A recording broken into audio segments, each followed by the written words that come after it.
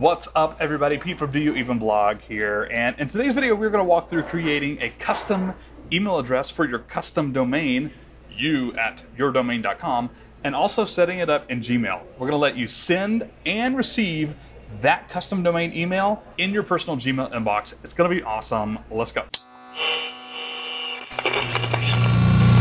You will notice that I have email and Bluehost pulled up. I'm going to be setting up a new email with my wife and I's new blog and podcast that we're going to be starting, a parenting blog and website. So I'm going to log in to, we're hosting on Bluehost. I'm going to log into our account right here. We're going to be creating everything in cPanel for one thing. It's important to know that your host is going to look different, first of all. If you're on Namecheap or GoDaddy or SiteGround or uh, anything, really, WP Engine. But depending on your host, this process I actually might look a little bit different, but you can always use Google. Go to Google and type in SiteGround, creating an email address. It's gonna, like the number one result, I guarantee you, uh, is gonna have tutorial, okay, number two result. Oh no, actually it was the number one result, whatever. Creating an email account in cPanel. Google your host, creating an email address, you're gonna find something on how to do it. So navigate here to my, there we go, manage, navigate. I have no idea where to get do things here. Redirects advanced. Where's my cPanel? Can you give me one second? Oh, here we go. There we go. Uh, email, email accounts. I'm going to create one right here in Bluehost. I'm going to hit create. Let's do me. So I'm going to do Pete at theparentline.com. I'm going to enter in a password.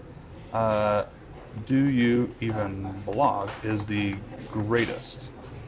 Um, storage space, I usually just do unlimited, but I really don't care. Like I'm just gonna kind of use it as that. Create, cool. So actually, what that has done is created my email address. I can now check my email. I can receive email to this right now. It's not in Gmail yet, but that was actually pretty easy. Here's the thing though. When you check email, like through cPanel, I'm, I'm about to click check email right here. This is the same for all hosts, not just Bluehost either. You're gonna get these like little options right here.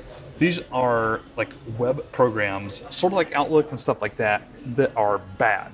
They are terrible. You do not want to use these. It's so much more effective to just check them in a Gmail. Even if you create a new Gmail, not using your personal one, I would still do that. It's super annoying.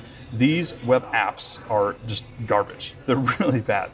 Really bad. But you don't have to use them, so that's good. However, Look at the rest of this page right here. This is all gibberish for me. Like, I don't know what IMAP is. I don't know what, like, TLS, SSL. Uh, I don't really care about any of this, except this is valuable, and I'm going to need this information in just a minute. Whenever I connect my email to Gmail, I'm going to need this information. Now, let's say you did this already and you don't have this web page pulled up. What do you do? Again, go to Google. I'm going to go to SiteGround and do connecting email to Gmail. What you're looking for here is like POP3. I'm gonna type in POP3. Okay, maybe this is it. In general, you can go to Google and, oh yeah, this is it. That was it. It was the very first result. I'm an idiot. So it gives you that data right here. If I go, if I were to search for Bluehost, it would give me this exact data right here. Mainly like some of these details right here. So that said, let's hook it up in Gmail right now. What you will do is you will go in your settings. This is my personal Gmail right here. Settings, and then you'll go to like POP3 uh, or accounts and import. Accounts and import. So what I'm going to do is add another email address. See that right here? Send mail as. Um, and you can also do check mail from other accounts. You kind of do, let's do that one first, right here. Add a mail account. I'm going to click that button. This pop-up box is important. Uh, what you're going to do here is you're going to fill this out using that data that we just had, that we got from Bluehost right here. So there's my email and username. Usually the email address is going to be the username. Oops. Email address. Boom. Next. Gmail import POP3. That's what you're looking for. Look for POP3. Import emails from my other account. Check mark. Correct. Next. So the username, uh, I'm going to go back to what they say. Username is my email address right here. So I'm gonna put that in. The password is the password I set. use the email account's password. It even walks me through it right here. So what was it? Do you even blog is the greatest. okay, pop server, incoming. This is incoming mail, so I'm going to use this pop server. Mail.theparentline.com. Mail.theparentline.com. It was already in there. Port is going to be pop three port. That's what I'm looking for. I'm doing a pop three thing right here. 995. I'm to change this to 995, and some other little settings right here. Leave a copy of the retrieved message on the server. I don't really care about. Always use an SSL when retrieving mail. I always do this. You'll see that there are two options right here. This is the SSL settings, secure SSL settings, non SSL settings. The fact that every host I've ever been with recommends using the SSL settings, I just do it. I don't question it, I just do it. so I'm going to check that box. Label incoming messages, pete at theparentline.com. It could be helpful. You could also skip the inbox if you want to. I'm to click add account. I'll see if it works. Cool, it worked. Boom, I'm good to go. So, one thing, sometimes it won't work.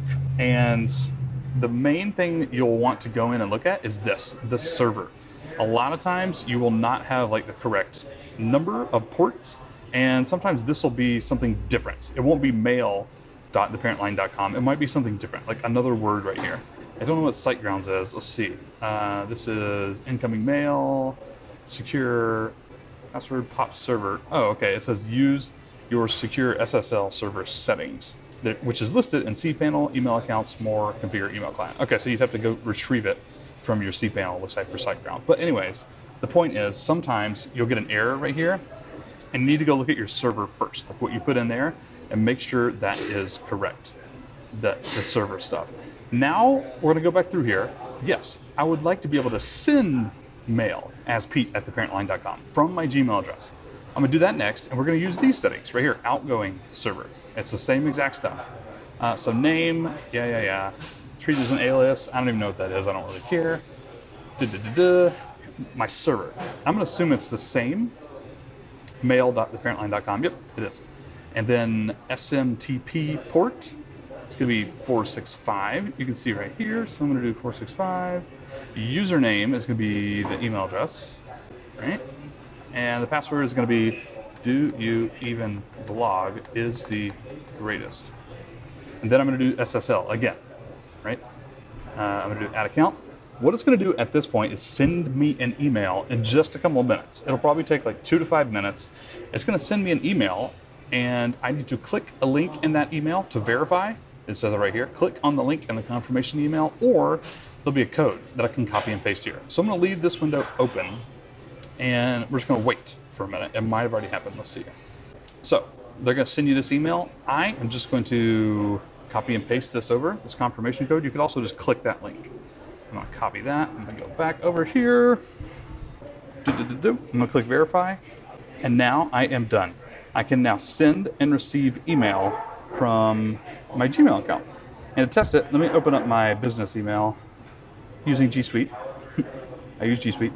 There we go compose. Pete at theparentline.com. Uh, this is a test. This is a test. Send. Message sent. So it's important to note here, you can actually change this as well. It's not going to be instantaneous. You can actually change these, I believe, to check uh, every like hour or so. I think that's like the default. It like automatically checks it every hour. I think there's another setting somewhere in here to check it more often. I'm actually not positive where that is. It might be like over here. But anyways, I'm gonna click check mail now. Like I check last checked one minute ago. It'll probably check like every hour or so. I'm gonna click check mail now. While we're waiting on that, you'll notice this. Oh look, it says one mail fetched. And oh, it sent me cPanel sent me another thing. Oh, wow. See, this is why I still approve of Bluehost. You don't do that. I didn't get this on SiteGround and several of the other ones. They actually sent me those settings right there when I created the email address, apparently eight minutes ago. That's cool. I did not know that. See that? Okay, there's the test. And it's labeled Pete at the parent line, and we are now good to go. Now, when I click reply, look at the from address.